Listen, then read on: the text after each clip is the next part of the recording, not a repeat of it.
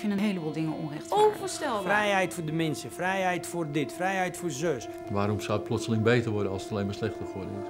Hij krijgt gewoon een taakstrafje. Slikken of stikken. Zo wordt het verkocht. Woedend word je. Nederland heeft een slecht humeur. We ergeren ons aan hoe de samenleving ervoor staat. We ergeren ons aan elkaar. Aan de politiek, aan de elite, aan de linkkerk en aan de rechtse gaaiers. Langzaam verdwijnt het gemeenschapsgevoel en verschansen we ons achter de voordeur. Opnemen de boosheid juist van ons af. Steken een middelvinger op naar iedereen die ons voor de voeten loopt. Dan slaan de uh, stoppen wel bijna door. Dat toch niet? Dat doe je toch niet? Hier slaan ze je naar je hart en naar je kop. Denk je, maar wat leven we nou? Ik zorg voor een vuurwapen en ik maak gewoon een eind aan deze meneer. Dat vind ik echt belachelijk en dat wint mij echt op. Dan kan ik echt boos om worden. Voortdurend worden er analyses losgelaten op de veenbrand die maar blijft speuren. Maar wat is dat dan? Dat ongenoegen dat sluimert onder de oppervlakte van dit superwelvarende land.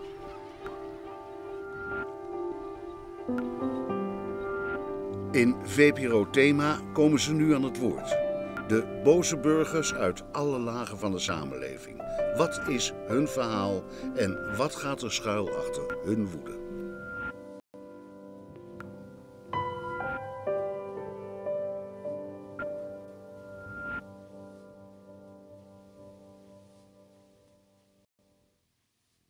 Is gewoon heel erg. Dat is uh, overlast van lawaai, schreeuwende mensen, uh, uh, mensen die pissen tegen je ramen, slaan tegen de deuren. enorme vechtpartijen hebben we hier. En dat is bijna iedere week zo. een tijd geleden hadden we hier om de hoek, is een, een uitgaanscentrum zeg maar, waar veel horecabedrijven zitten. Dat was een hele grote vechtpartij waar de politie waarschuwingsschoten heeft moeten lossen. Want anders hadden ze dus echt, uh, echt een probleem gehad.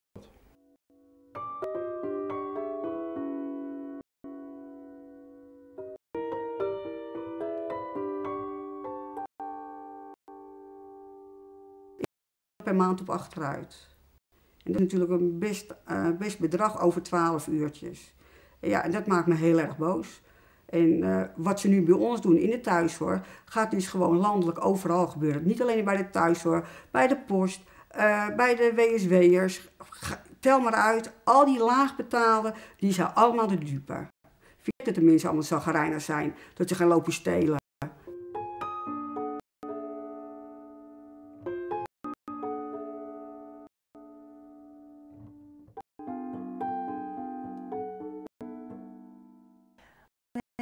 Wat zit u dan het meeste dwars? Op het moment, vooral ook vanuit mijn werk gezien en uh, als, uh, als moeder, uh, de bezuinigingen die, die aanstaande zijn op, op onderwijs. Ik denk dat, je, dat, dat, dat de kinderen van nu, de, de, de, de, de, de toekomst van morgen, die morgen moeten zorgen voor, voor de wereld, dat je daar nooit, nooit op mag bezuinigen.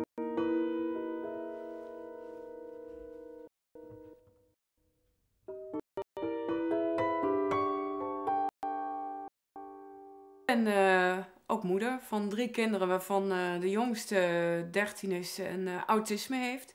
En hij heeft zich, dankzij de, de, de deskundigheid en de begeleiding die hij op de basisschool heeft gekregen, goed staande kunnen houden in het, in het regulier onderwijs. Is ontzettend sterk geworden.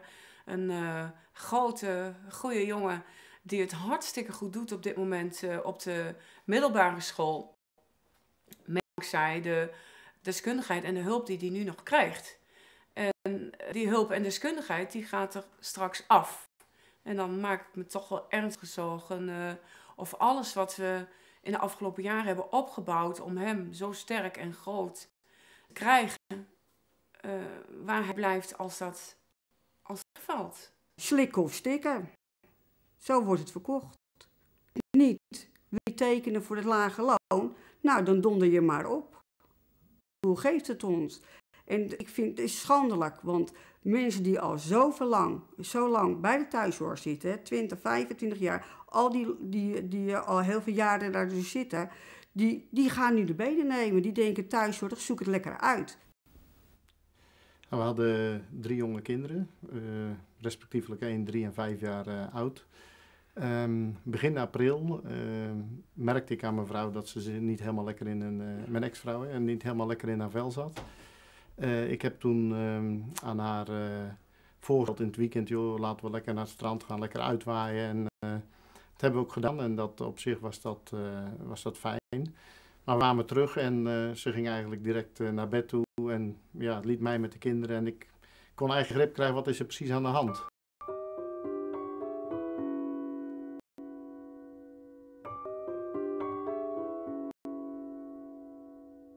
Het weekend, uh, nou, ze voelde zich nog steeds niet prettig. Ik zeg, ga, ga met, je, met je ouders lekker een uh, weekend mee, dan ben je ontspannen. Ik zorg voor de kinderen. En dan, dan kan jij eigenlijk helemaal bijkomen, tot rust komen. Afgesproken dat ze op dinsdag terug zouden komen. Alleen ik moest dinsdag voor mijn werk, kon ik niet thuis zijn, dus ik, ik moest op tijd weg. En ik heb de kinderen bij de buurvrouw gebracht. En ja, toen kwam ik, kreeg ik s'avonds op het eind van de dag een telefoontje van mijn, mijn zus. En die zegt, joh, ik moet je wat, wat ergs vertellen. je, mijn ex-vrouw is vertrokken met de kinderen.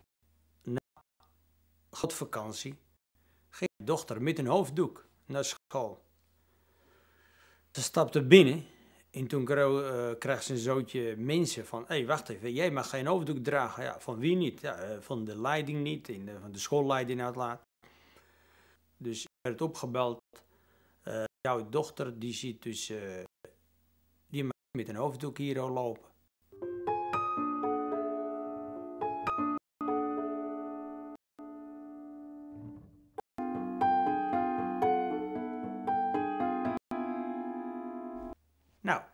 We vergaderen bij die school. De afspraak was, laten we dus de commissie gelijkbanden gelijk richten.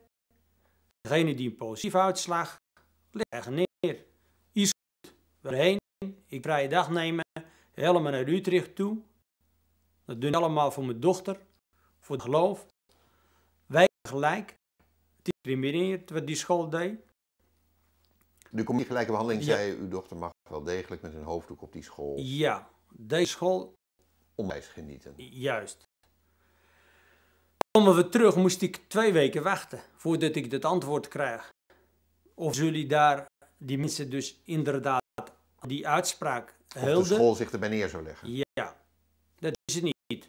Na, ik denk, zes weken, zes tot acht weken, kreeg ik een, uh, een, een, brief op de deurmat uh, van de advocaat van, uh, van mijn ex-vrouw. Uh, en die daarin stond van, uh, ik wil het volledige gezag over de kinderen. Uh, ik wil een flinke alimentatie. Um, ja, en ik wil scheiden. Zeg, hier zei je, het geloof te maken. Laat je er wel. Maak met mij een afspraak. Die kom je niet na. Ik ga verder. Ik ga naar de rechter. Maar u voelde zich verraden? Ja, tuurlijk, absoluut. Je bent er niet blij om. Je maakt, ik ben juist de man van de afspraak. Ik heb mijn afspraken altijd nagekomen met iedere mens op de aarde. Had u het geaccepteerd als uh, u in het ongelijk was gesteld? Absoluut, dat wist ik. Ik heb met mijn dochter... Ik zeg, uh, mijn dochter moet je goed luisteren. Ja, een zijt aan. Als je moet je, eigen, moet je dat ook accepteren een advocaat in de hand genomen via kennissen. En dat bleek uh, een aardige man. Uh, uh, en ik, ik hem aan van, joh, ik wil dat mijn kinderen terugkomen. En ik wil dat er een schadevergoeding komt voor alle, iedere dagen dat ik mijn kinderen mis. Want ik voelde het gewoon heel onrechtvaardig wat er gebeurde. Hij zegt, ja, maar zo gaat dat niet. ja, je moet maar omgangsregeling vragen. Ik zeg, ja, maar dat is niet wat ik, ik wil. Ik wil gewoon dat de kinderen terugkomen. En ik wil dat ze uh, want hier zijn ze goed uh, op hun plaats en ik wil dat voor hun de situatie hersteld wordt. Ja, mijn zoontje Dietri, die uh, was een van de tweeling. 2005, 21 juni 2005 is hij overleden. na zes maanden, zes en een half maand verblijf in het ziekenhuis. hij was ziek, ernstig ziek. maar oké, daarvoor ben je in het ziekenhuis. Maar wij waren niet anders dan op de hoogte dat het een topziekenhuis was. Dat was ons ook verteld. We konden daarover lezen.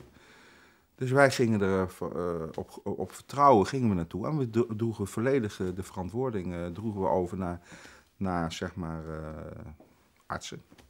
En zo zou het ook moeten.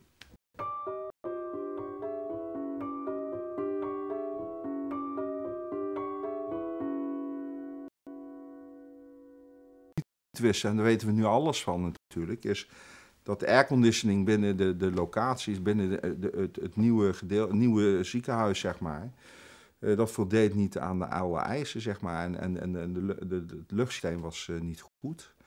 Nou, daardoor ontstond dat iedereen eh, ziek werd. Er liepen ou- ouders zoals mijn ex ook, die had meteen longontsteking, kon meteen andere antibiotica. Verpleegkundigen liepen daar met sjaals om, dikke truien, vaak verkouden.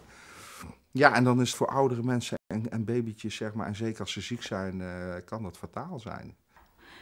Ik ben vier jaar geleden eh, ziek geworden. Ik heb een burn-out gekregen en eh, daar bleek ook allerlei psychische klachten achter te zitten. Nou, dan kom je dus bij het UWV terecht. Je krijgt een uitkering. Dat gaat allemaal redelijk soepeltjes, moet ik zeggen.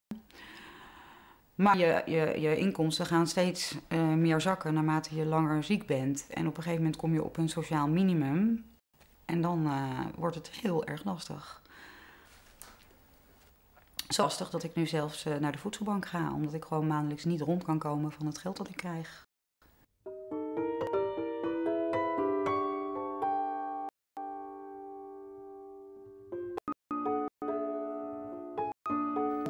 Je 80 uur in de week. Eh, je kan je batterij niet meer opladen. Je leeft in de wereld van seks, drugs en rock'n'roll.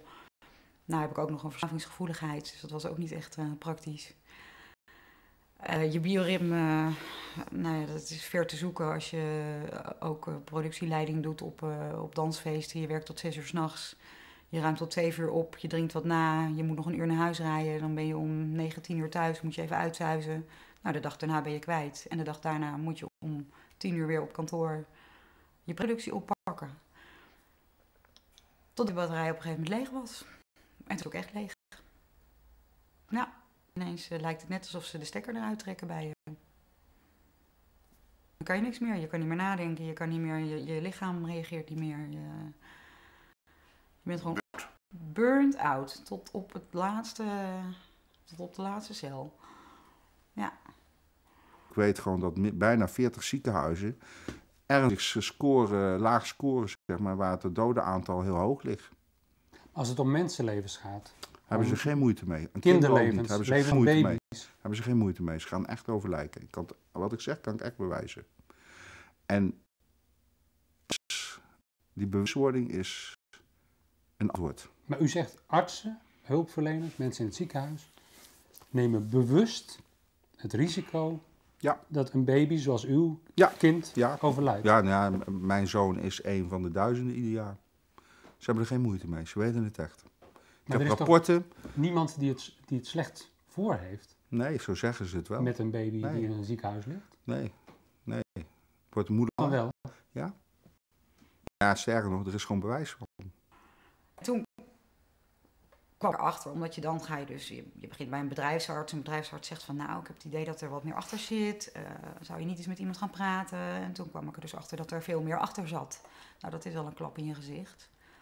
Maar toen vielen wel alle puzzelstukjes in elkaar. Toen dacht ik wel van, oh ja, daarom heb ik dus al die jaren zo geleefd. Omdat ik ook maar wou presteren, presteren. En omdat ik ook graag een imago wilde hebben en een interessante baan wilde hebben. Terwijl als ik denk van ja, als ik uit, vanuit mijn hart zou willen leven, dan zou ik eigenlijk liever iets heel anders willen doen.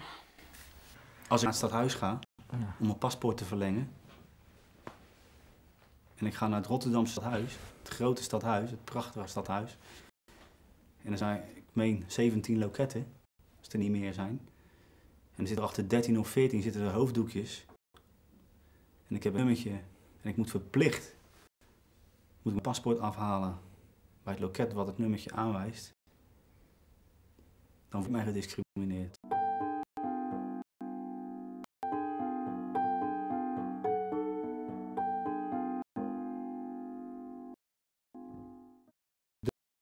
eerste rechtszitting kreeg mijn advocaat op vrijdag, terwijl het maandags de rechtszitting was, kreeg hij een half eh procesbaal van aangifte van de advocaat van mijn ex-vrouw.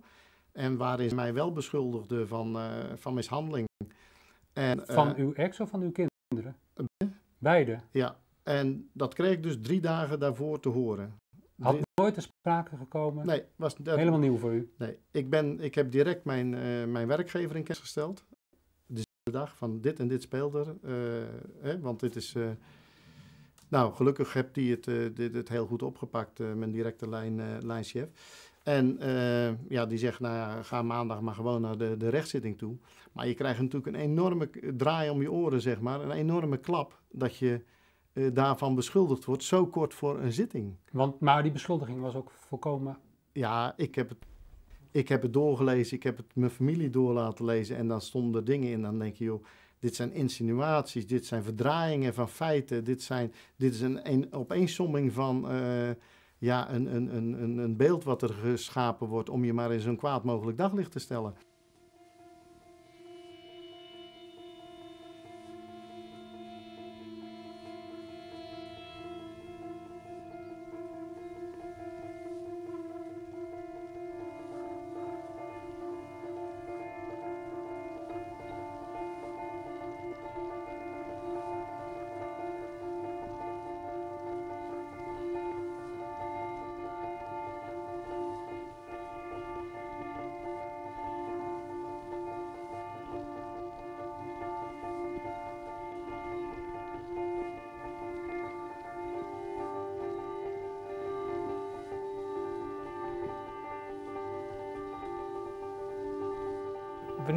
Begonnen eigenlijk voor jou? Kan je nog herinneren van toen dacht ik, jeetje, het wordt nu te gek. Ja, mijn, eh, mijn jeugdjaren, ehm, dat heb ik het over de jaren eh 80. Ehm, dat waren eigenlijk de jaren dat de, de grootschalige immigratiegolf vanuit vooral Marokko, Turkije richting Nederland kwam. En ehm, ik heb het aan de lijve ondervonden in de straat waar ik woonde. Daar waren weinig vreemdelingen, een paar. En ehm er kwam een Marokkaanse zin bij ons in de straat eh, wonen. Mhm. En eigenlijk vond ik dat als kind wel leuk, want die spraken geen Nederlands. Die, die aten ander voedsel. Die ehm, hadden andere gebruiken. Hun ouders liepen in bepaalde gewaden over straat. Ik vond het spannend en leuk. Had je contact mee ook met? Ik had daar contact mee. Ik speelde daarmee buiten. En ehm, als je taal naar deze tijd, was dat het toppunt van inburgering. Ehm, die kinderen raken binnen drie, vier maanden goed Nederlands en binnen een jaar vloeiend Nederlands. Ehm, en eigenlijk eh, ehm, had ik er toen ook eh, vrede mee dat die mensen bij mij in de straat kwamen wonen. Ik was een jongen van een jaar of tien. En, ehm, eh, maar het nadeel kwam daarna. Nadat er nog een Marokkaanse familie in de straat kwam wonen. En op dat moment was eigenlijk in heel korte tijd onze vriendschap over. Ja? Ja, want de, de nieuwe Marokkaanse familie eh, werd vrienden met familie die er al woonde. En plotseling ehm, werd er Marokkaans gesproken op straat, of, of Berbers. Mhm. En eh, ja, ik heb daar ook meerdere malen verzocht van, nou, laten we jullie nou hetzelfde behandelen als de eerste familie. Dan doen we allemaal met elkaar overweg. Maar dat was niet het geval. Uiteindelijk resulteerde het in een zeer korte tijd in dat er twee groepen kinderen buiten aan het spelen waren. Namelijk de Hollandse, de blanken en de, de Berbers. Op een gegeven moment dan, eh, dat zijn pedagogen en psychologen, en die gingen echt tot in de diepte terug van, eh, van je jeugd, zeg maar, bij de ouders ook. Eh, dat hebben ze gedaan, ze hebben daar een rapportage van opgemaakt. Ik kreeg toen voor het eerst weer contact met mijn kinderen. Je moet je voorstellen dat je twee jaar geen contact hebt gehad en dan moet je met elkaar eh, in een ruimte om te kijken hoe het contact tussen die, eh, die, die, die ouder of die vader met zijn kinderen. Nou, dat is al onbegrijpelijk natuurlijk, maar goed, godzijdank ben ik daar al- allemaal goed doorheen gekomen. En toen schreven ze in dat voorraadrapport, die vader heeft voldoende pedagogische en affectieve kwaliteiten, die kan zijn kinderen geven wat ze nodig hebben. En moeder, haar kwaliteiten zijn twijfelachtig, ze neemt de kinderen mee in haar eigen problematiek. Dan denk je, nou, ja, ik denk dat dit, eh, het is een opdracht van de rechtbank, we gaan terug naar de rechtbank. En dan, eh, dan, eh, ja, dan is, dat, eh, is het nu over, hè, na twee jaar. En kom je bij een rechtbank, dan zit daar ook een medewerker van de Raad voor Kinderbescherming, want Fora die moet via de Raad dat rapport daarheen sturen.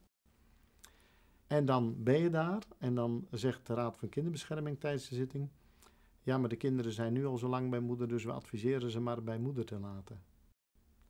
Dan gaat er daarin mee en je krijgt een omgangsregeling. Is na twee jaar dat je die kinderen al gemist hebt en dat er zo'n rapportage komt. Nou, ik denk als dit voor je hebt leggen en je gaat dan nog deze weg in om te beslissen, dan, dan dat eh, in mijn ogen kwade opzet. En Ik ben netjes opgevoed, respect voor rechters, advocaten en noem maar op. Maar ik heb toen mijn middelvinger opgestoken naar de rechtbank en gezegd, zoek het maar uit. Het weekend is, eh, ik, ik vind het altijd vreselijk als het weer vrijdag is. Dan denk ik, jeetje, het weekend is er weer. Jongen, jongen, wat een feest. Daar word je niet vrolijk van. Kijk, vroeger hadden we nog een caravan. En dan ging je de weekenden ging je weg. En dan eh, ga je naar, naar de camping toe. Maar ja, we kunnen gewoon het pand niet alleen laten in het weekend. Want je weet nooit wat er gebeurt. Weg. Je kan eigenlijk niet weg die weekenden. Zo simpel is dat. Is er gekomen dat u gedacht heeft, ik ga hier weg? Ja, soms denk je dat wel eens. Kijk, eh, dat- maar je gaat niet zomaar weg. Ik heb het hier naar mijn zin. En eh, het is hier hartstikke leuk wonen. We hebben een prachtige stad. Dus eh, om zomaar weg te gaan doe je ook niet. Maar het is wel zo dat eh, de weekenden zijn wij echt... zijn we redelijk afgebrand, zeg maar. Ja? Want als je op vrijdag en zaterdag nacht misschien drie uurtjes slaapt op een nacht... dan heb je in drie dagen zes of zeven of acht uur geslapen. Dat is niet zoveel. Als je dan gewoon 's morgens weer werken moet. U kunt niet meer slapen in het weekend. Nee. Om een uur of twaalf en het stopt om een uur of vijf. En eh, tussen die liggende periode is het constant eh, lawaai, schreeuwen, vingen, vechtpartijen. En dat is prachtelijk weekend zo. En dat is al jaren zo. Het wordt alleen elk jaar iets erger. Ik zou vertellen, twee weken nadat mijn zoon is overleden, kwamen wij bij een professor in Rotterdam. Eh, wat ons onthouden is dat hij daar altijd naartoe kon gaan. Hè. Men zei, ja, er is geen enkel ander ziekenhuis eh, die de deskundigheid heeft, zeg maar, zoals wij die hier hebben. En toen moment dat een, eh, een uur verderop iemand zat, dat was een, een autoriteit. En daar werkte altijd mee samen. Alleen hadden ze met elkaar. En dat wisten we niet. En zo ver gaat het dan. Nou, uiteindelijk, twee weken overlijden kwamen we bij die man. En die zei gewoon, nou, hij had nog kunnen leven. Een broertje, na een jaar had hij gewoon bij zijn broertje kunnen lopen. Wat doe je dan op zo'n moment? Woedend word je. Zullen er mensen zijn die hiernaar zitten te kijken op televisie en die denken van ja, ach, hoofddoek, waar gaat het eigenlijk over? Dat is helemaal niet belangrijk. Waarom, waarom bent u er zo fel op? Het is toch haar recht. Als je als moslim geboren. Wij zijn geen terroristen of, of, of, of eh, eh, hoe zou je dat nou zeggen? Wij zijn gewoon normale mensen op deze aarde. In iedereen mag toch zijn geloof uiten. Omdat je andere mensen niet mee kwetst. Kwaad doet. Wij doen hier niemand kwaad. Het hoofddoek nogmaals is niet nieuw. Je zeggen, ja, ach, waarom hebben ze niet in de jaren 60 eens luisteren? Vrouwen met hoofddoek komen er niet in. Dan is het duidelijk naar die mensen. Nogmaals, je bent welkom. En als je een hoofddoek gaat dragen, dan ben je ineen en... eh, eh, ja, dan hoor je niet, of ben je gek, of... eh, wat voor shit. Ik vind het 13,20 euro en ik ga nu naar 9,92 euro bruto. En wat is de reden van dan? Eh, Zuinigingen. We mo- mogen alleen nog maar schoonmaken en we mogen niet meer signaleren. Dus als mijn eh, cliënt komt eh, ziek te liggen of zo, moeten we alleen maar schoonmaken en niet zien dus dat ze ziek is. Dus we hoeven geen dokters meer te bellen, helemaal niks meer. We zijn alleen maar schoonmakers. Maar daar moet ik er wel bij zeggen, schoonmakers verdienen meer geld dan wij van de thuiszorg. Hij krijgt nu ehm, een keer in de week hulp bij eh, planning. Ehm, ook hulp bij leren. Daarnaast was er iemand die hem de dag in de gaten hield. Eigenlijk op school, zijn functioneren van... Oh, hij staat daar in een hoekje, weet hij wel waar hij naartoe moet? Of hij zit daar eh, te klieren. Oh, dat komt omdat hij niet weet wat hij moet doen. Die had hem als het ware in de vingers. En de vrouw is eh, door de bezuinigingen nu, nu al weg uit zijn omgeving. En ja, daar maakte ik mij dus al zorgen over. Want dat is al een heel stuk dat nu al wegvalt. Je wordt een crimineel behandeld. Een meisje van 15 in een aparte kamer gaan zitten in Nederland. Ik, als ik t- s'avonds doe je televisie aan, dan hoor je, ja, wij zijn van mensenrechten, wij zijn, eh, kat- eh, geloof is beschermd in Nederland. Allemaal onzin. Hier maken ze je geestelijk kapot. Wat bedoelt u daarmee? Want dat is makkelijk gezegd, maar wat bedoelt u daarmee? Wat bedoel ik mee? Eh, Lichamelijk word je helemaal gek gemaakt in Nederland. Als ik in Marokko ben en je maakt een fout, je krijgt een klap, is binnen 24 uur weg. Hier slaan ze je naar je hart en naar je kop. Ik eens de aangifte doen bij de politie. Ja, drie, vier weken dat ik advocaat in handen neem. Toen belden ze mij op van, kom maar even. Slagelijk. Is allemaal bezuinigd. Ze willen allemaal voor de kwartje op de eerste rang zitten. Ze willen de ouderen niet een bejaardentehuis hebben, want die, die zitten al overvol. Er zijn heel veel wachtlijsten. Ja, dus die ouderen die zitten daar te vereenzamen. Dat kan gewoon niet. Niet een oudje alleen laten zitten en denken, bekijk het maar. Er moet gewoon zo nu en dan iemand binnenkomen. En als je dan één keer in de week dan de thuiszorg zou hebben, dan weet je in ieder geval, als die er zijn en er gebeurt wat, dat er aan de bel getrokken wordt. En dat is belangrijk. En dan kan je, ja, maar de wijkverpleging komt. Ja, die komen ook wel. Zij komen tien minuten. Wij komen gemiddeld drie uur bij een cliënt. En bij die cliënten kunnen we zien of ze uh, slechter worden in hun doen en laten. Of als er iets verandert, kan je meteen een signaal afgeven. Bel je naar de huisarts of naar Draagnet of welke instantie je nodig hebt. Maar dat doen die wijkverplegingen niet, want die hebben maar 10 minuten. En een, een, bijvoorbeeld een de dementerende, die kunnen in 10 minuten hun covert ophouden van ik ben goed en ik ben erg sterk en uh, ik heb, helemaal niks. Maar als je drie uur met je hulp zit, dan kom je een heleboel dingen tegen dat je denkt van zo, dat klopt niet zal ik toch maar even iemand raadplegen. Maar dat hoeft niet meer. Als hij thuis komt, dan kan ik zien wat, wat voor dag hij heeft gehad. En als er een dag is dat niemand hem heeft gezegd wat hij moet doen en waar hij naartoe moest, terwijl hij wel behoefte aan had, dan, dan valt er eigenlijk niks met hem te beginnen. Dan moet zo helemaal uit de knoop raken thuis dan daar ook de tijd voor geef, dan gaat hij even computeren, met de hond spelen en naar buiten. Dan s'avonds om zes uur pak ik al zijn schoolwerk samen met hem op en dan doen we het thuis. Bij sportevenementen in, uh, in de regio Overijssel is het politiekorps van Overijssel is om uh, alle lunchpakketten van de ME'ers halal te maken ten behoeve van enkele islamitische agenten ik vind het belachelijk dat dat soort mensen überhaupt um, uh, bij de politie werken. Dan niet willen conformeren aan onze manier van leven, aan onze eetgewoontes. En dat compleet ME-peloton halal moet eten. Dat er één of twee ME'ers uh, geen varkensvlees willen. Echt belachelijk. En dat wint mij echt op. Daar kan ik echt boos aan worden. Dan moet ik zelf een lunchpakketje thuis maken en die meenemen naar hun werk. En die acht andere 30, 40 ME'ers opzadelen met halal voedsel. Uh, op een gegeven moment eh, ging ik me beter voelen en ik wilde graag reïntegreren. Dan denk ik, nou, dat, dat, dat moeten ze uh, stimuleren, neem ik aan. Ik bedoel, ik neem aan dat ze willen dat je zo snel mogelijk weer op de arbeidsmarkt terechtkomt. Alleen, ik ging bellen en ik, ik, ik kreeg geen arbeidsdeskundige te pakken. Ik kreeg geen verzekeringsarts te pakken. op een gegeven moment was mijn hele dossier was verdwenen. Ik, ik zat in een soort virtuele vacuüm bij het UWV. Ik werd ook echt letterlijk van het kastje naar de muur gestuurd. Ja, we bellen u binnen een week terug. Niks. Nee, we bellen u binnen 24 uur terug. Niks. Vijf jaar later, in 2007, bij de Raad voor Kinderbescherming. Die maken uiteindelijk een rapport waarin ze van A tot Z alle problemen en alle mogelijkheden beschrijven. Je gaat dat rapport voor de tweede keer, dus daar werd verwezen ook nog naar dat vorige rapport.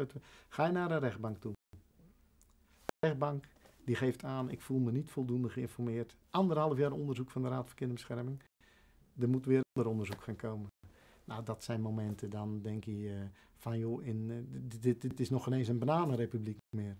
Echt, dit, dat is zo desastreus als je die dingen overkomt. En dan zeg ik, dan denk ik dat je echt alleen maar uh, denkt van, ja, ik denk dat het een grote wonder is dat er niks gebeurt. dat makkelijker zou zijn als je wel een keer uit de band zou springen. Um, die machteloosheid, het idee hebben dat je niet meer meetelt, het idee dat je uh, eigenlijk afgeschreven bent, je krijgt geen hulp, um, je wil graag, maar het lukt niet. Um, dat verergerde bij mij de klachten. dus je vond eigenlijk de, de, de onzorgvuldigheid van het UWV ja. vernederend? Ja. ja. Dat maakte je boos? En daarbij voelde ik me dus op dat moment ook echt niet gehoord is geholpen. En beërgerde jouw klachten? Ja.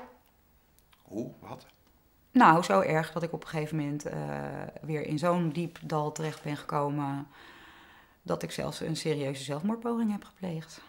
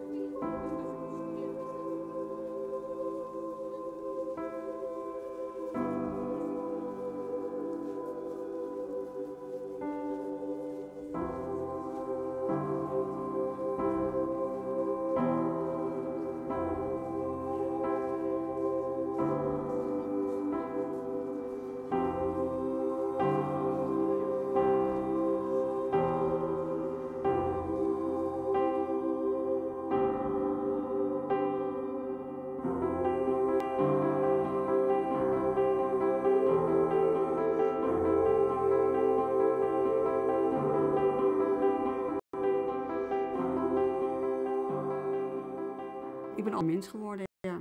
Harder. Ik had- was altijd meegaand en eh, liet alles over me heen komen, liet me alles zeggen. Nu laat ik het me zeggen van kom op. Nu heb ik niet van kom op, we gaan met z'n allen ervoor. We moeten wel. Je- Dus je, qua karakter verander je ook. Daar hebben we dus eh, een rechtszaak van gemaakt. In we verloren in Zandam. Want de rechter zei, De rechter zei ja, de dat school is mag het zelf bepalen. Ja, dat is een eh, bijzondere school. eh, onderwijs, dus eh, ze mag haar eigen regels eh, toevoegen. Ja, dan nogmaals, dan voel je helemaal eh, shit. Wij samen met een eh, groep eh, collega's hebben wij zijn de thuiszorg opgericht en daar zijn we heel fanatiek in. En daar blijven we ook fanatiek in, dus dat er gewoon de zorg goed voor elkaar komt. Want als wij niks doen, gebeurt er niks. Kijk, want de UWV heeft ons laten zitten. En wat de UWV gedaan heeft, kunnen ze bij alle werkgevers in Nederland doen. En dat maakt me dus heel erg boos. Dus dat, je, dat ze zomaar van, eh, van de ene loon naar de andere lo- loon naar beneden kan gaan. En daarom willen wij dus gewoon, wij zijn de thuiszorg, dus dat het gewoon eh landelijk op, eh, op papier gezet wordt. En eh daar gaan we voor. Dat, dat een het- loon voor hetzelfde werk niet zomaar verlaagd mag worden. Ja. Dan legt u zich neer daarbij bij die uitspraak van die rechter nu. Dat doe je eigenlijk. Ben je niet klaar mee. De woede die, die, die, heb je alle dagen. Woede heb je alle dagen. Denk je eigen van wat heb ik nou misgedaan in dit land, in deze wereld, in deze, op deze aarde. Wat doen wij eigenlijk verkeerd? Dag en nacht werken. We hebben ons netjes gedragen, altijd hier of ergens anders. We met iedere mens op de aarde leven. Dan krijg je deze dingen. Deunen. Eh, ik ben eh, bij Occupy terechtgekomen, eh, eigenlijk uit nieuwsgierigheid. Ik ben op een gegeven moment daar gewoon langs gefietst en heb gevraagd, wat doen jullie? Dat sprak me zo aan dat ik me eigenlijk meteen heb aangesloten. En ehm, kwam er al vrij snel achter dat dat een, een hele diverse groep mensen is... die allemaal vanuit hun eigen levensvisie proberen de wereld bewust te maken van het feit dat, zoals het nu gaat, het niet goed gaat. En dat specifiek sprak Ja. jou aan. ja, omdat ik zelf heel veel onvrede had over eh, hoe het gaat in de maatschappij. Ehm, en ik doe dat dan vanuit mijn eigen humanistische levensvisie. Ik ben een humanist. Dus eh, zelf denken, samenleven, dat vind ik heel belangrijk. Ehm, maar wat daar loopt, dat, dat, dat gaat inderdaad van, van zwerver tot anarchist. Tot, eh, we hebben een hoogleraar rechtsfilosofie die zijn studenten daarheen haalde. allemaal met het doel om mensen bewust te maken dat er dingen moeten veranderen. En wij, wij, ik zeg meteen ook wij, want je voelt je meteen, het, is meteen een wij-gevoel. Ehm, wij pretenderen ook niet de oplossing te hebben, maar wij willen wel met mensen in gesprek gaan over ehm, eventuele manieren van samenleven. Ja, ik ben heel bang en heel boos ook dat, dat dit zomaar gebeurt. Die, die, die zoon, die Gijs, die acht jaar lang zo zijn stinkende best heeft gedaan op de basisschool. Met hulp van zijn leerkrachten en die deskundige begeleiding. Die nu staat waar hij staat en vol zelfvertrouwen is. En dat hij nu naar de eh, reguliere middelbare school naartoe gaat. En door die bezuinigingen gaat dus die deskundigheid eraf. En waar blijft hij dan? Wat moet hij dan? Straks, als dat er niet meer is. Het kan zomaar zijn waar, we acht jaar naartoe hebben gewerkt om hem sterk en stevig en krachtig te maken, dat er binnen zes weken gewoon weg is. Dat doe je toch niet? Nee. Dus uh, ja, ik probeer nu uh, te kijken van wat zijn de wegen. En de, de, er zijn wel wegen om protesten te laten horen. Want ik niet het aantal ouders in Nederland dat een schoolgaand kind heeft. Maar als die zich allemaal verenigen, dan geweldig potentieel dat dat kan protesteren. En het kan in ieder geval de stem laten horen bij volgende verkiezingen. Om door eens even goed te kijken van uh, waar stemmen we nou eigenlijk op en wat, wat is goed voor ons kind. Het is heel raar, maar eigenlijk ontmoet ik bijna alleen maar mensen die het met me eens zijn. En zelfs als ik op verjaardagen ben en ik ontmoet daar uh, vreemdelingen, hè, generatie die hier geboren zijn, dan nog zeggen ja, dat is ook zo. Want ik voel me ook wel Nederlander, maar ik ben en blijf waar ze vandaan komen. En um, uh, daar hebben ze me voorkomen gelijk. En um, uh, het, probleem is alleen um, dat ik ook iemand ben die naast uh, een bepaalde denkwijze ook een bepaalde handswijze op nahouden. Dus ik ben wel actief ook bezig om bijvoorbeeld de politiek te beïnvloeden middels acties. Of om de burgers te invloeden middels acties publiciteitsacties met, uh, met spandoeken, met, uh, met megafoons. Om net even nog de zaken wat scherper neer te zetten als dat er vaak in de publieke debat wat gebeurt. Wat doe je dan? Nou, ik vind het belachelijk bijvoorbeeld dat in Amsterdam was laatst een, een, congres van een organisatie die in heel veel landen in Europa verboden is. Um, een islamitische fundament, fundamentalistische organisatie. En wat wij dan doen als, als actiegroep, waar ik bij zit, voorpost, is we gaan verschansen ons ergens. En we gaan, terwijl de camera's draaien, gaan wij actie voeren. Dus we, die dag zijn wij s ochtends vroeg op het dak gaan staan van het bewuste congresgebouw. We hebben ons daar verschanst tot de, de toeloop kwam van dat volk. En we zijn op het dak gaan staan en hebben ja, een spandoek en megafoon. En met het, het, uitgooien van een aantal flyers met onze mening hebben we kenbaar gemaakt hoe we erover dachten. Wat, Uiteraard, wat riep je dan? Um, hand in hand terug naar eigen land. Ja, ik vind dat heel gebruikelijk om, de, om termen als hand in hand terug naar eigen land en uh, eigen volk eerst uh, te bezigen. Je denkt er natuurlijk zo na van jeetje, verdorie. Ik zou jou wel eens een paar hengsten voor je bek willen geven, maar het kan toch niet? Het werkt toch niet? Mijn taak niet. Nee. Het is de taak van de overheid. Er moet gewoon politie komen. Maar bent u wel achteraan gegaan ook wel eens? Uh, wij hebben verschillende keren zijn we achter inbrekers aan moeten gaan. Ze hebben hier op het platte dak gestaan. Alleen ja, ik heb een hond van kilo of 60. Die uh, is behoorlijk afgericht. Dus ze sprongen hier van het platte dak af s'nachts. En uh, maar ja, we hebben verleden week nog achter inbrekers aan moeten lopen. Die bij de buren ingebroken hebben. er is een reisbureau, daar hadden ze beeldschermen, computers, surfer en allerlei andere spullen nog gestolen. Ja, die hebben we nog geprobeerd te vinden. Uh, eerst hebben we de politie natuurlijk gebeld. Maar ja, voordat die er is, een kwartier verder. En dan zitten we al in Wasja. Dus dat, uh, dat schiet niet echt op. Ik, ik heb het idee dat mensen tot het uiterste worden gedreven. En dat daarom ook depressie, uh, volksziekte nummer 1 aan het worden is in Nederland. Want kan dat niet dragen, die druk. Dus naar binnen slaan of je kunt uh, in Occupy gaan zitten. Ja, en daar krijg je dan een veel beter gevoel uh, van uh, over jezelf. Omdat je dan het gevoel hebt dat je wel wat bij kan dragen. Ja. Om mensen dus bewust te maken van het feit dat deze manier van leven, denk ik, niet langer houdbaar is. Ik denk dat mensen daar echt aan onderdoor gaan. Veel mensen toen wel degelijk van plan om, uh, om het recht in eigen hand te nemen. Ja. Ik denk, als jullie denken uh, gezamenlijk zeg maar, dit, uh, dit zeg maar, te kunnen doen.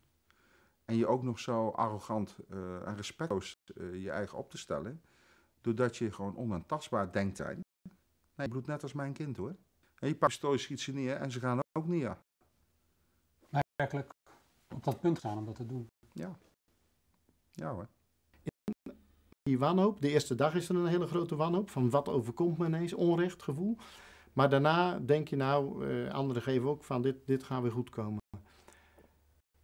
wanhoop, denk ik, was het grootst toen de Raad van Kinderbescherming de tweede keer eh, dat ik het gesprek had zei, nou we hebben toch besloten dat u geen contact eh, voorlopig krijgt meer met uw kinderen. En toen, ja, dan slaan de eh, eh, stoppen wel bijna door, want eh, je hebt dan het gevoel, ik ga mijn kinderen totaal kwijtraken. Ik, eh, ik verlies het totale contact met mijn kinderen en waar moet ik dan nog voor leven? Maar wat betekent dat? De, slop, de stoppen slaan bijna door? Eh, de neiging om jezelf het aan te doen, of de neiging om aan de hele situatie een eind te maken. En dat is wat er door je heen gaat, omdat je, Hoe doe je dat? Aan de geen uitzicht eh, meer hebt. Nou, dat, dat je denkt van, jij je hoort dat vaker, ook van familiedrama's en noem maar op. Als je in zo'n situatie zit en als je dan door de overheid wordt tegengewerkt, dan heb je echt de neiging om te zeggen van nou dan eh, allemaal maar eruit, dan zijn we allemaal verlost van de, van de pijn en de ellende.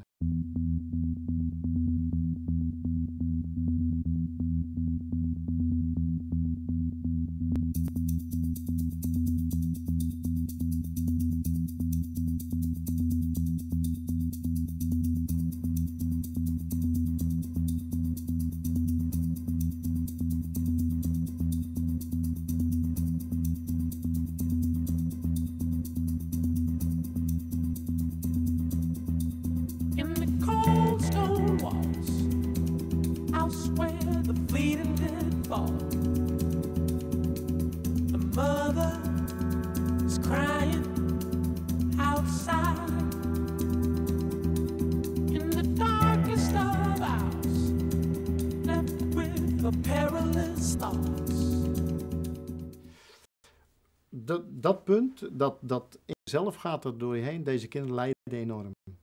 Wat jij voelt, wat je ervaart. En daaraf is dat ook gebleken. Maar u dacht, misschien is het dood beter af dan leven. Die momenten zijn er geweest dat ik dat dacht, ja. Ja. ja. En kun je dat nu nog steeds voorstellen? Punt beland. Ja, dat kan ik me nog. En ik kan me ook voorstellen dat er nog andere ouders ook in dat punt, dat ze dat nog tegen gaan komen. En op dat moment eh, kreeg ik eh, ook op internet natuurlijk, eh, nou ja, kreeg ik hier een mailtje binnen en allemaal dat ik het moest bekijken. Dus ik maak dat mailtje open, huis volgens mij. En ik kom daar in één keer een bekende pedofiel, maar kijk, ik wist dat helemaal een bekende naam en die ging zich heel raar gedragen, heel per hand. En ik zeg, ja, ik ben die en die, zo'n zo'n patsertje. Hij zegt, ja, zal ik maar zeggen, ik ben, ik ben die en die en ik ben pedo. Ja. Doordat ik dat filmpje kreeg, zat, dat, op dat moment zat er iemand naast mij eh, die wat werkzaamheden voor ons deed eh, als vrijwilliger. Waar school. Die zegt, ja, ik ben zo iemand die misbruikt is. Dus ik zat er zo aan te kijken. Nou, en, en toen heb ik gevraagd van, eh, dat zo kunnen sturen. Nou, toen, ging zij het een en ander uitleggen. Ik denk.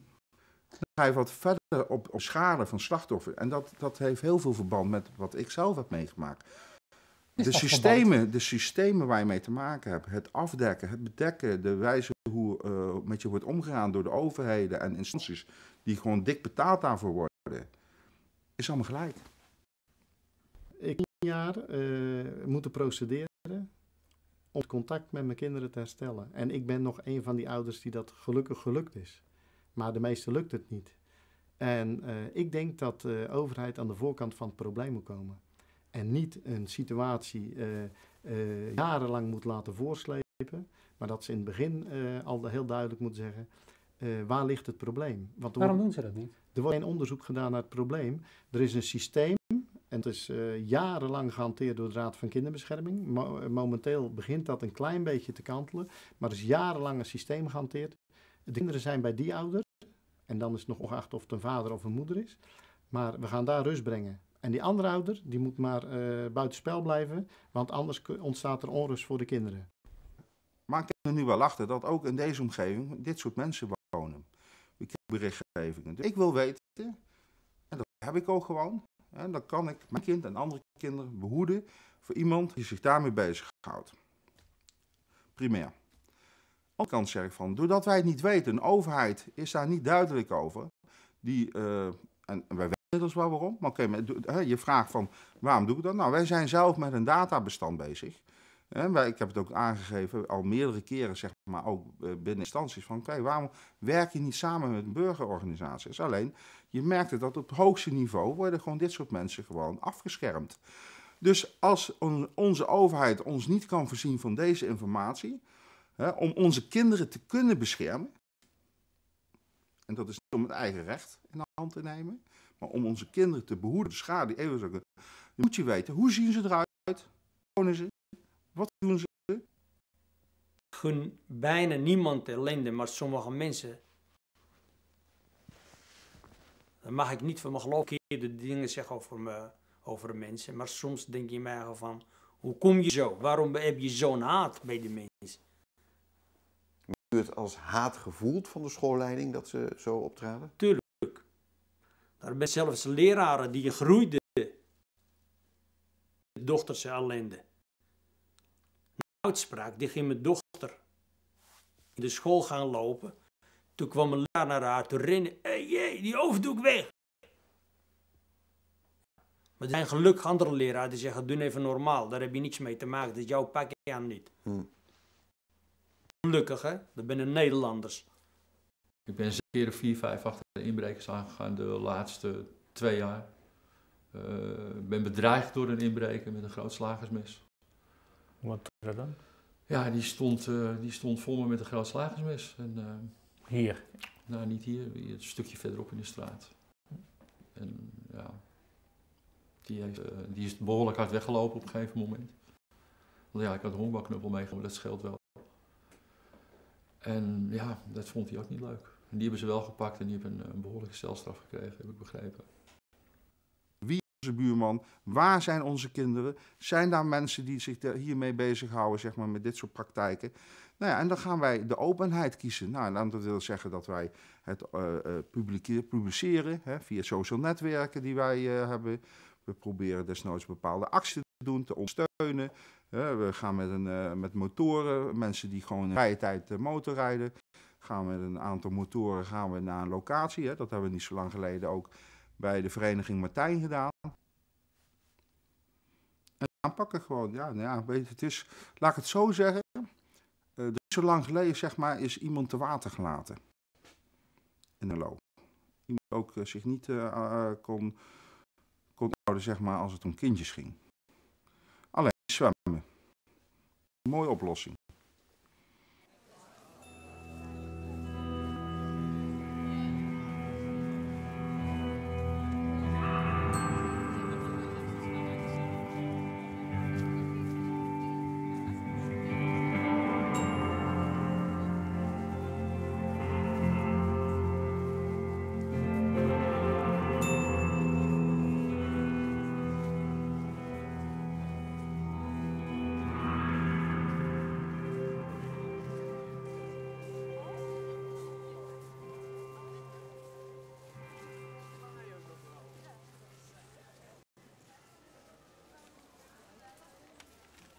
U anders over Nederland gaan denken door dit voorval? Ja. Ja. Ik heb altijd.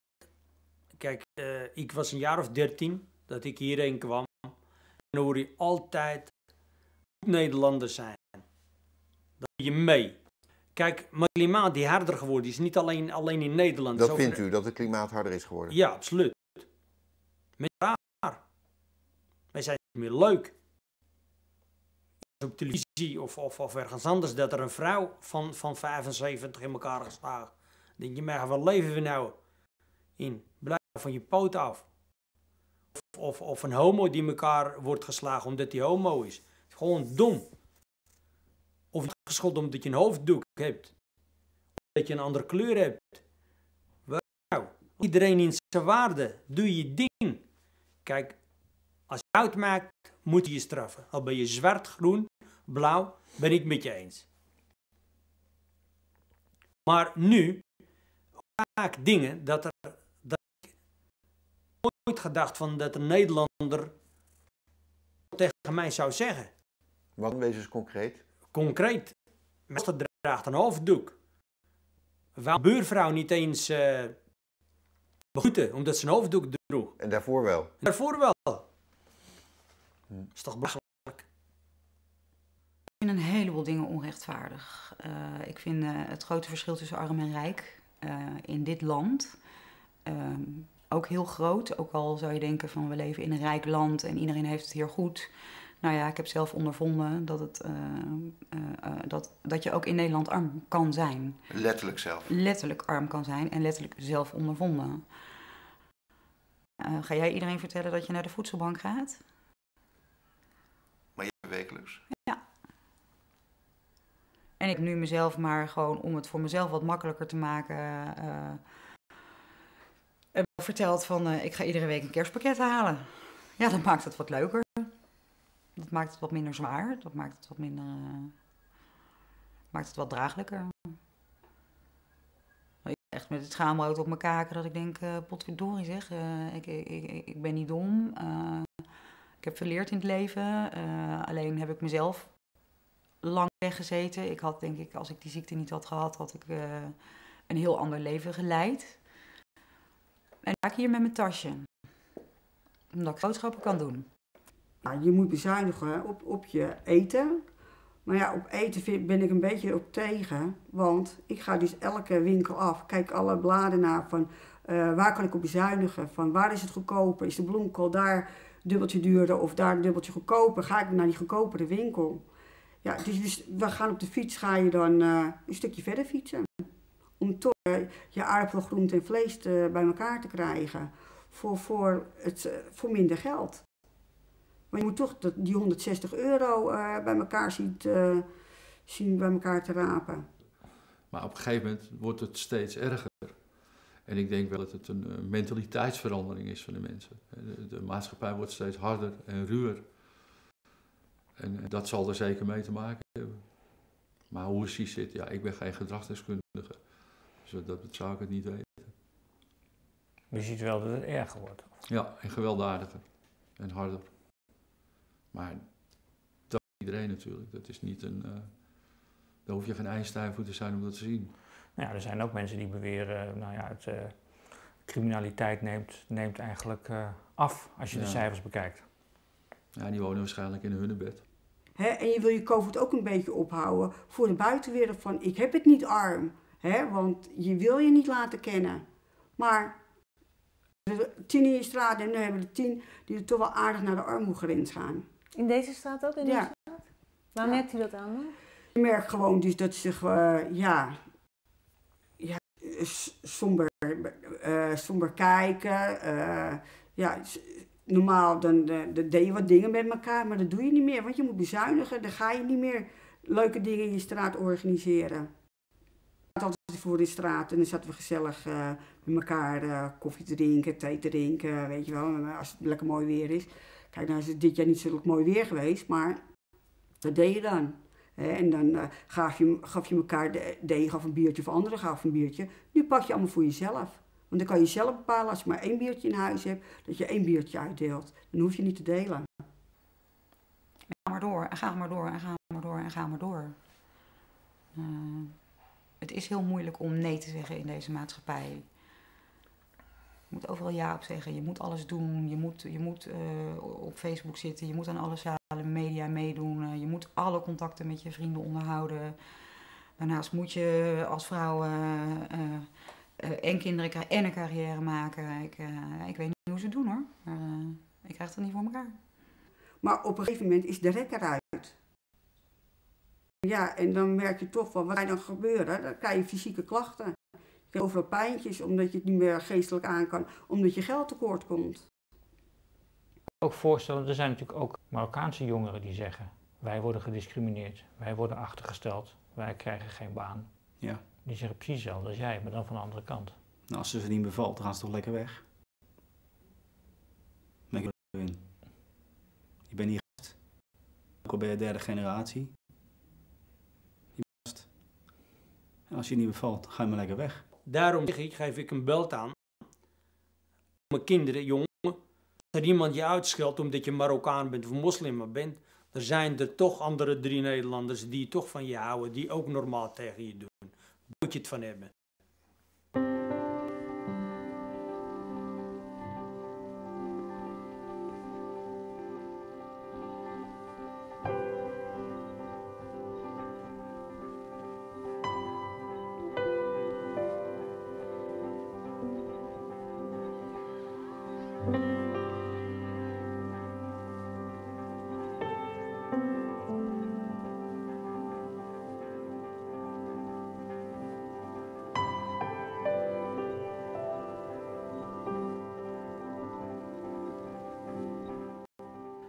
Heeft eh, dit alles, die hele strijd die u heeft geleverd, met uw vertrouwen in de overheid gedaan?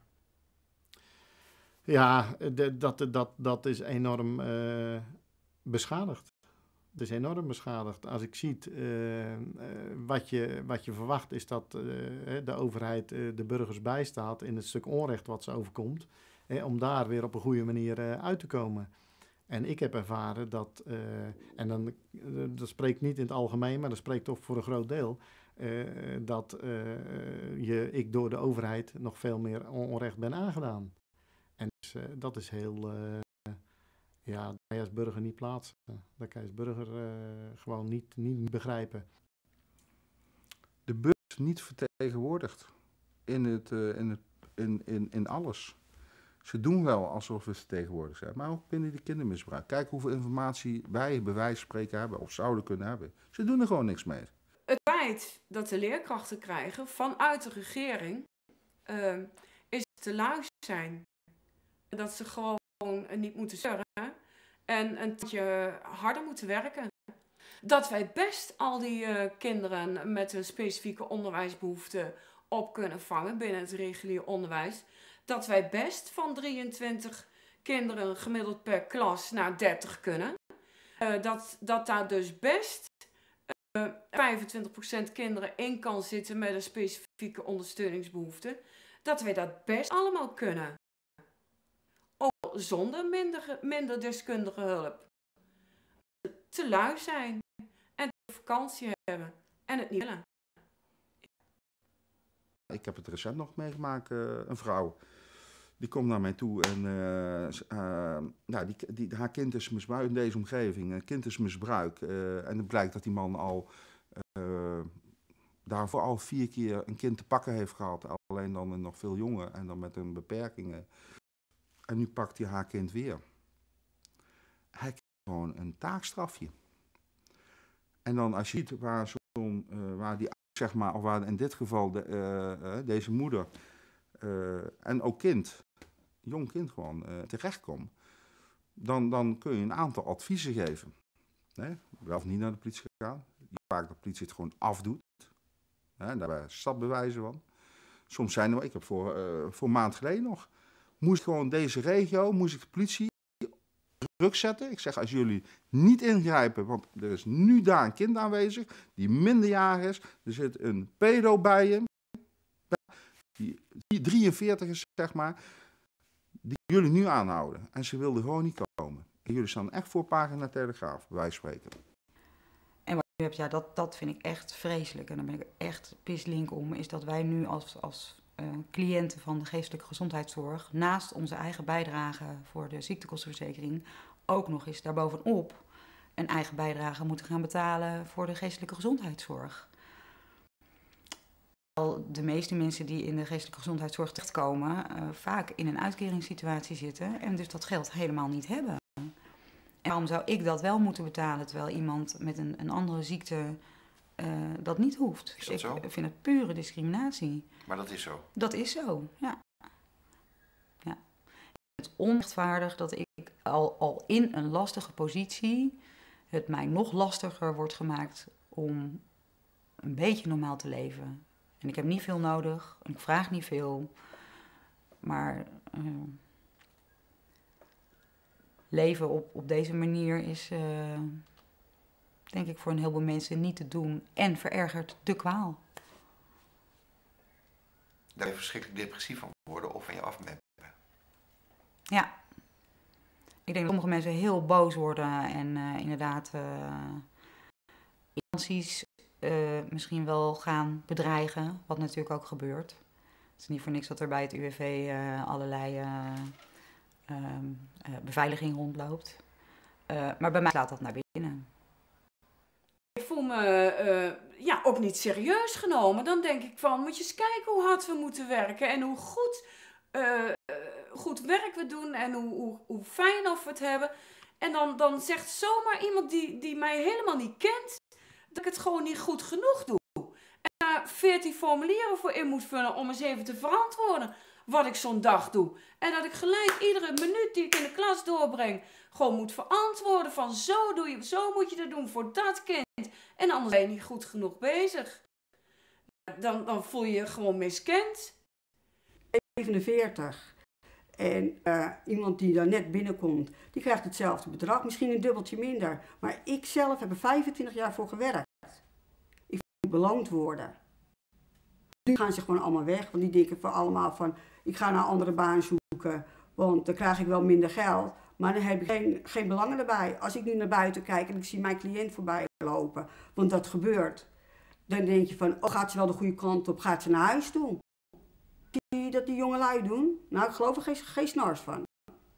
En eh, ja, dat, dat zijn hele grote irritaties die ik heb. Die jongelui zijn minder betrokken dan u. Ja, op Blackberry, gaan een uur in de wc zitten en dan gaan ze zeggen, de, de, badkamer doen we.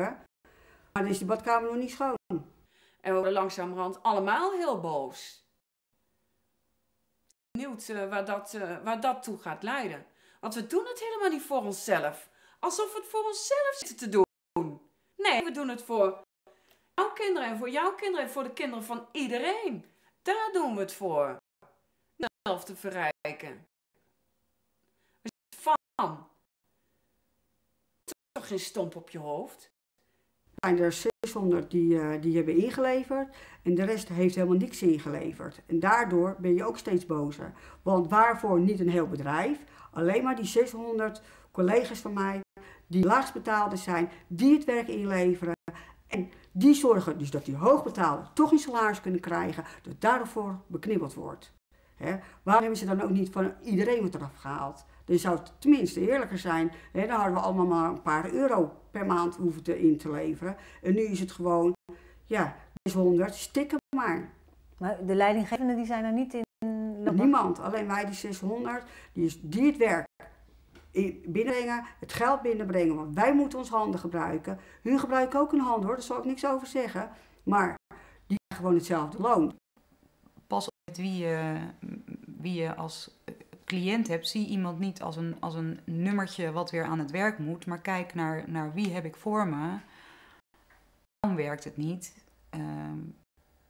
Bied aan, eh, doe iets. Op een gegeven moment had ik iets van, anything, help.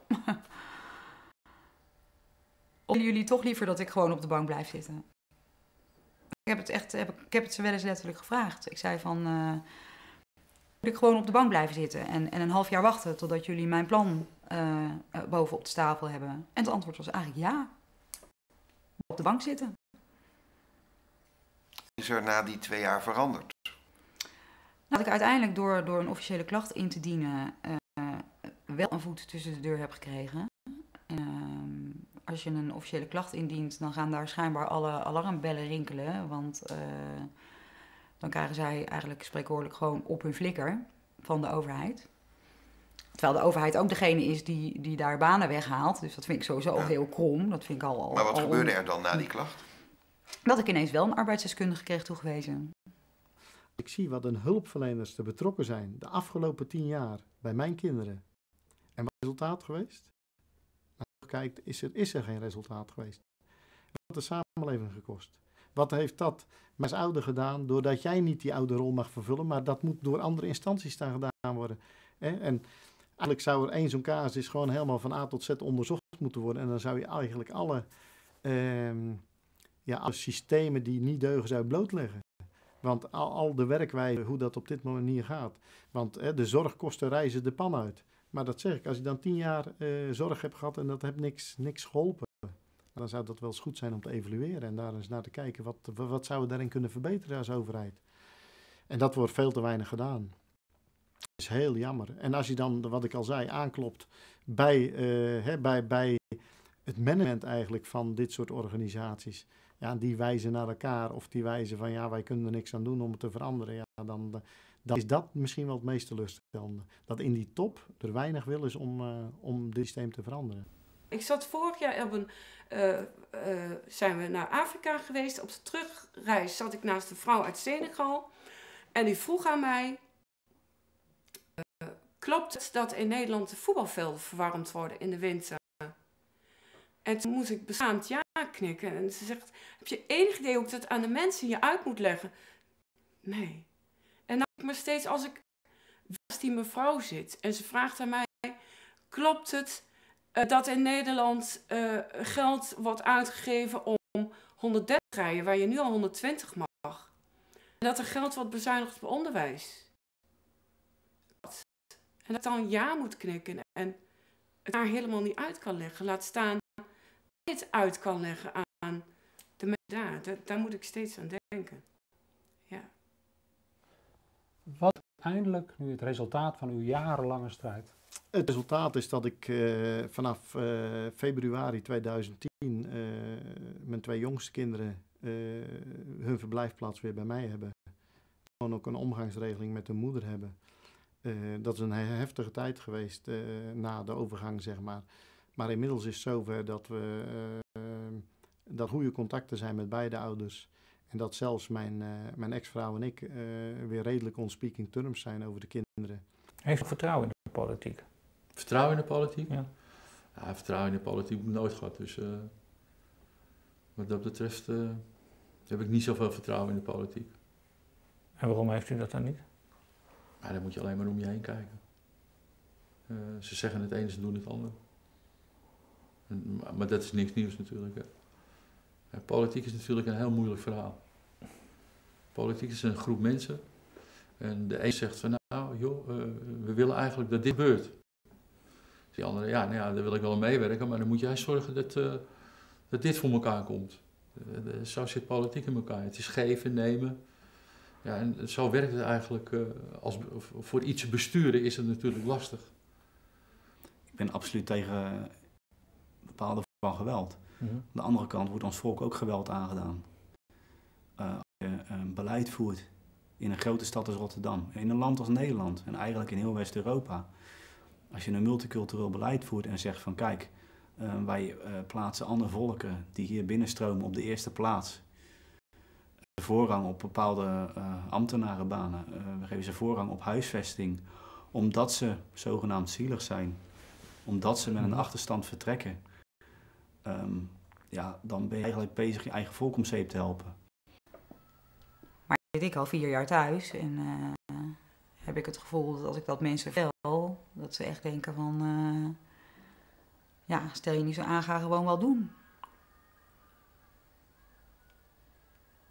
Ik heb heel erg sterk dat gevoel dat, dat mensen dat niet zullen zeggen, maar wel denken. Ja.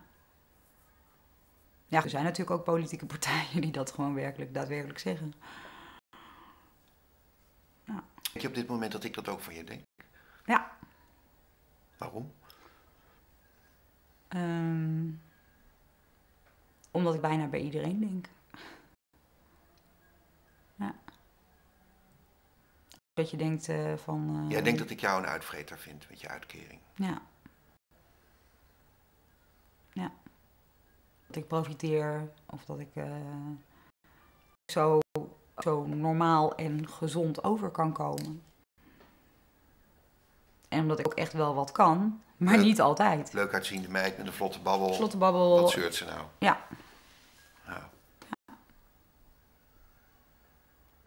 Aan de ene kant denk ik van er is crisis, mensen worden bang gemaakt.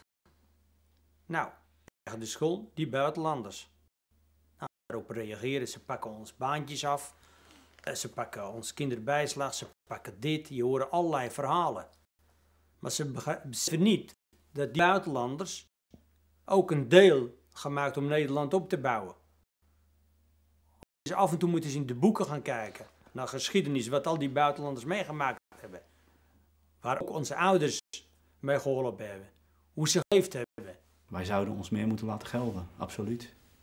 En ik had de hoop, ik had de hoop toen eh Pim Fortuyn werd omgelegd. Mhm. Helaas, in 2002.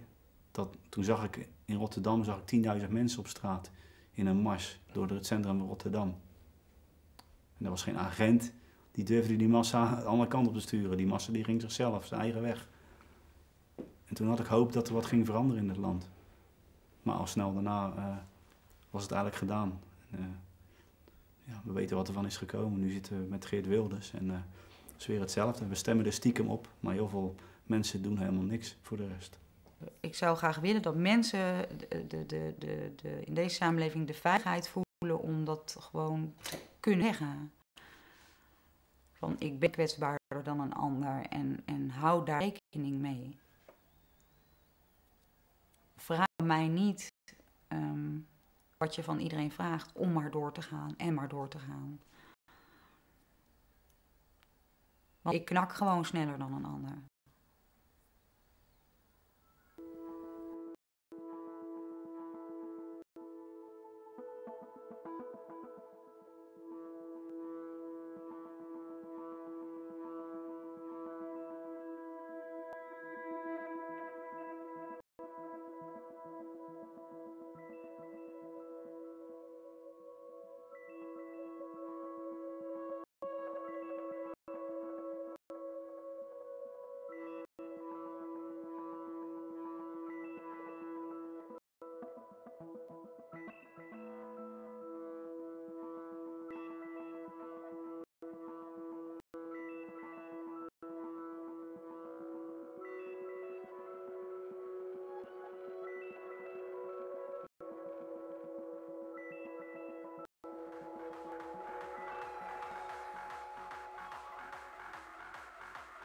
Wanneer was u voor het laatst eh, echt heel erg gelukkig?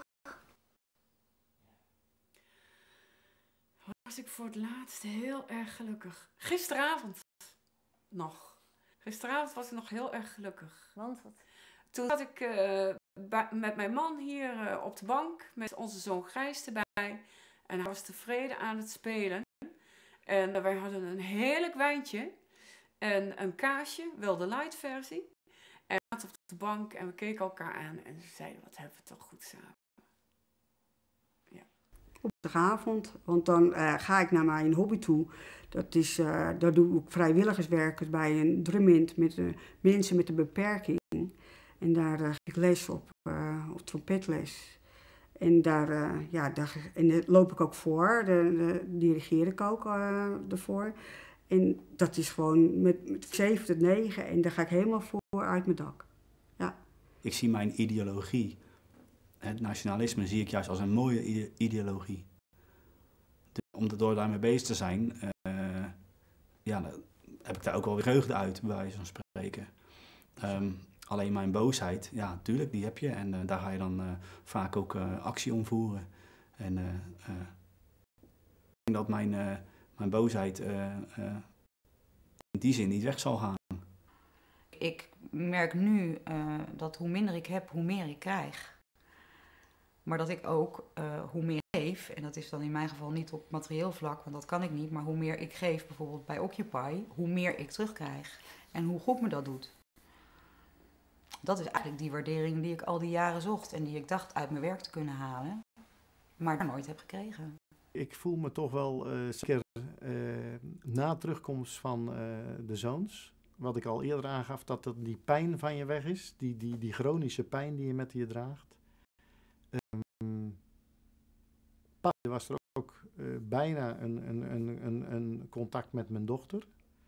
En dan heb je het gevoel, hey, het lijkt of, of het weer helemaal allemaal op zijn plaats is. Dat is, ja. Dan, dan voel je eigenlijk dat geluk, ja. Totdat ik die ellende kreeg met het ziekenhuis, was ik eh, toch best wel gezellig. eh, nee, had ik, het toch wel, eh, had ik het toch wel aardig naar mijn zin. En ik had ook alle reden ervoor. Natuurlijk, er gaan dingen niet goed en er gaat minder, er gaan ook dingen fout. Maar het zeggen, nee, ik was wel tevreden. Ik bedoel, de dingen die ik deed en ik, ik had het goed voor elkaar. Maar ja, op een gegeven moment, eh, eh, in een fractie van een seconde, dat moeten mensen dus wel beseffen, eh, kan ieder leven doen veranderen. Zodat ik een trauma ervan overgehouden. Dat zijn dingen die gebeuren, die horen bij het leven. Alleen ook een leven. Gezond is ook een leven. Ongezond is ook een leven. Dat hoort bij het leven. Kijk, zodat mijn kinderen nogmaals van zorg op maken, dat ze niet verslaafd gaan raken aan drugs of aan drank of spelen. Dan denk ik, hé, je hebt niet je best gedaan. Jouw kinderen gaan fout. Maar dat kan. Het kan iedereen op de aarde voorkomen. Niet alleen ik of u, iedereen. Of je groen, blauw. Ja, ook Marokkaanse die verslaafd zijn. Ook Turken, Hmm. ook blanken, ook Nederlanders, ook Volendam. Maar daar heb ik medelijden met de ouders. Wij hebben het natuurlijk eigenlijk heel erg goed, kan je ook zeggen. Ja, Vind je? Vind je echt? hè? Nou, je kan zeggen, we hebben, we hebben, we hebben veel, eh, we hebben eh, hoge lonen, vergelijking. We, hebben, eh, we zijn rond, we worden oud. Sociaal vangnet, wordt vaak gezegd. Ja, dat klopt, ja. Totdat je wat ouder bent, hè. Dan zit je zomers drie dagen lang in je poelbroek. Als je in zo'n bejaardentehuis zit. En dan hebben we al geld hebben we weggegeven aan, eh, aan hulp in andere landen. We geven miljarden aan, eh, aan Griekenland. Die er 200 tanks van. Ik denk niet dat dat eh, de bedoeling is.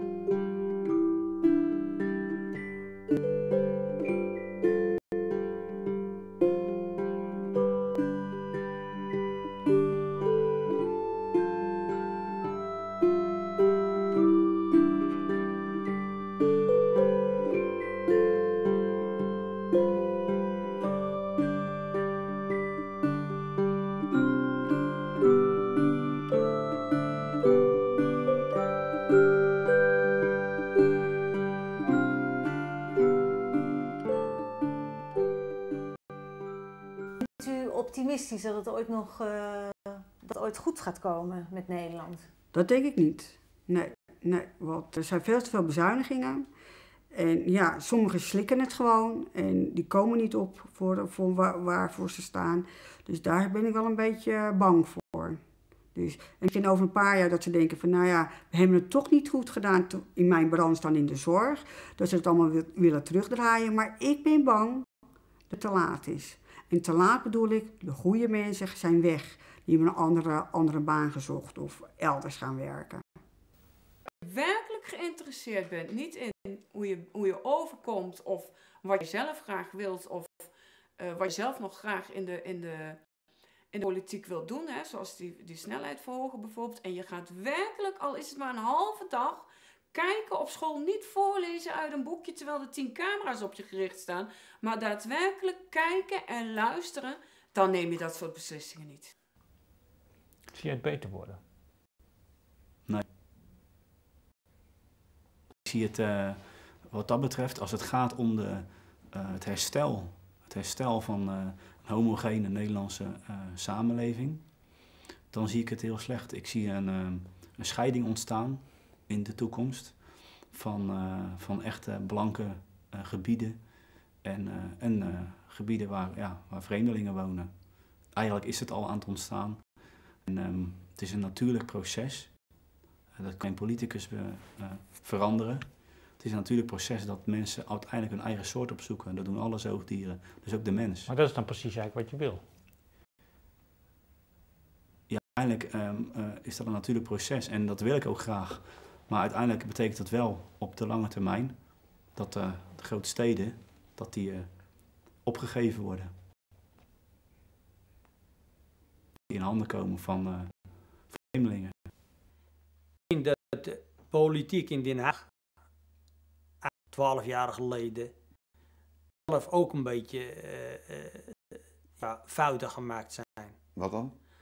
Nou, kijk, die president of, of, of, of, of eh, de ministers, die zitten in Den Haag op het stoeltje.